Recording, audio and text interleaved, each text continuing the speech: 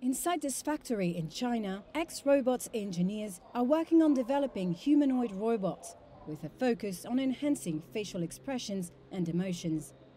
So far, the main purpose of these hyper realistic robots has been for display in museums.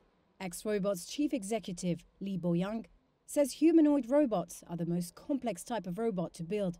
The company uses artificial intelligence to teach robots how to recognize human facial expressions and mimic them. Like here, a humanoid robot is copying a worker's movement thanks to tiny motors installed in its head. The company says it takes between two weeks and a month to produce just one humanoid robot.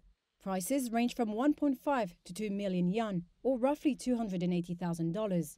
Looking ahead, Li believes humanoid robots will have a bigger role to play, not just in healthcare and education, but in other industries as well.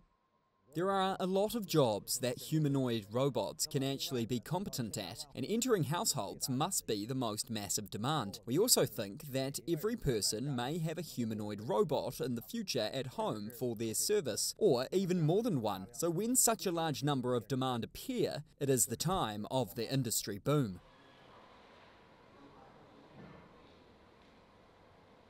其实你是。